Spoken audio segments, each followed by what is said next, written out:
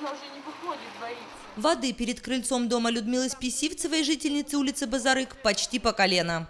А вот кладовка, сарай, все уже затопило, затопило все полностью. Не лучшая ситуация и у остальных местных жителей. В том, что улица превратилась в бурную реку, люди винят не только сильные осадки и талую воду, но и газовиков. газовики провели во, это газ, вот это все лотки забили глиной, не почистили до конца, все замерзло. Мы пока вот эту трубу почистили, у меня еще полчаса, у меня полосы бы плавали на воде. Больше двух часов понадобилось жителям, чтобы справиться со стихией. Но не успели люди остановить поток с одной стороны, вода хлынула к ним со стороны улицы Бозарык. И все пришлось начинать сначала. Впрочем, как утверждает местный квартком, в этой беде виноваты сами жители. Люди, которые на левой, на левой стороне канала живут, по левому берегу, они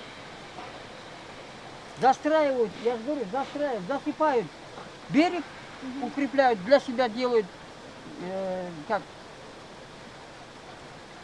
у- увеличивают свою землю вот этим способом.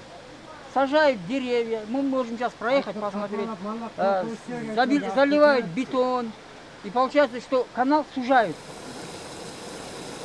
Размытые водой участки люди теперь пытаются закрыть мешками с песком, но вряд ли это надолго исправит положение. Подобная ситуация здесь уже была всего неделю назад. Из-за обильного дождя и резкого потепления поднялся уровень воды и в Кашкарате. В результате в микрорайоне Самал-3 оказались затоплены около двух десятков дворов. На ликвидацию затопа приехали сотрудники ЧС, которые привезли более 300 мешков песка для укрепления берегов отводного канала и специализированную технику.